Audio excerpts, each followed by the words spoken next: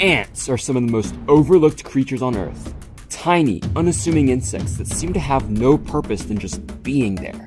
But a closer look reveals ants as some of the most diverse, interesting, and even bizarre creatures on Earth. I'm Mikey Green, and my goal is to show just how little we really know about the strange creatures living their hidden lives all around us. One of my favorite groups are the ants.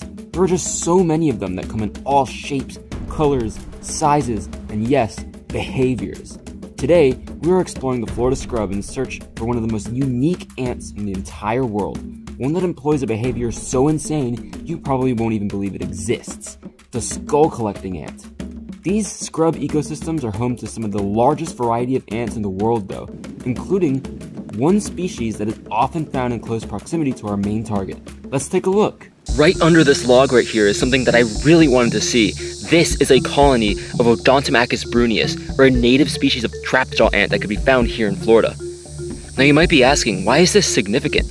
Well, this is one of only two species that our main target ant, the skull collecting ant, uses to collect the skulls from. The other one being a closely related species called Odontomachus relictus. So seeing these Odontomachus is a good sign that their parasite might be nearby. While seeing these trapjaw ants is a good sign that our main target is around here somewhere, I see trapjaw ants all the time and still have never found a skull collecting ant. But underneath the nearby log, I spotted a colony of large black ants, this time without the huge gaping mandibles.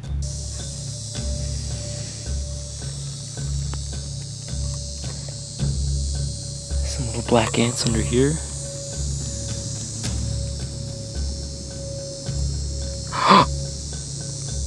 oh my gosh. Oh. Yes!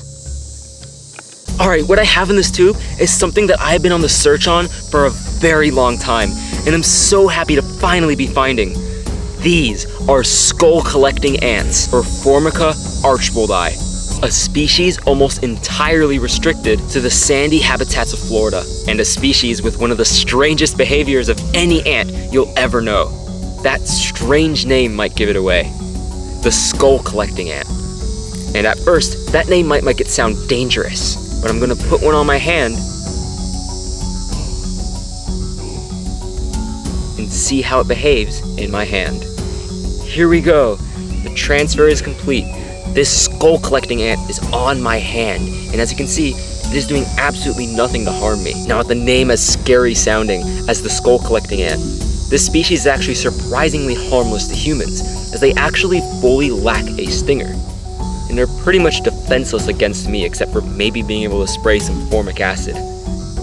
This right here is one of the most unique ants that we get here in the state of Florida. You might have remembered how excited I was to find Odontomachus trapjaw ants, the native species out here, just a little bit ago. That is actually because these Formica archboldi, the skull collecting ants, specialize on killing and collecting the body parts, especially heads, of Odontomachus trapjaw ants. Specifically, those two native species I mentioned, Odontomachus brunneus and Odontomachus relictus. We do get an invasive species of trapjaw ant here in Florida called Odontomachus ruginodis.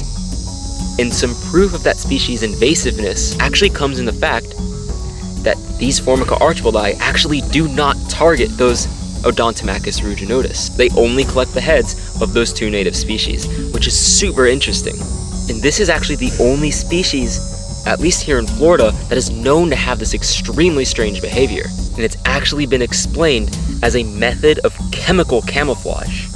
These ants basically masquerade themselves in a few different ways as trapjaw ants because those are very unfavorable prey for animals that would otherwise be eating lots of ants like lizards. Trapjaw ants have both a very powerful bite and a nasty sting. These Formica archboldi have neither. So unusually for the genus Formica, these are all black, just like those trapjaw ants. Most of the other Formica species that we get here in Florida are orange or brownish in coloration. This one being unique in its all black coloration. And number two, and most interestingly, using those collected heads, with those chemicals being found on those two native trapjaw ant species being pretty good indicators of what they are.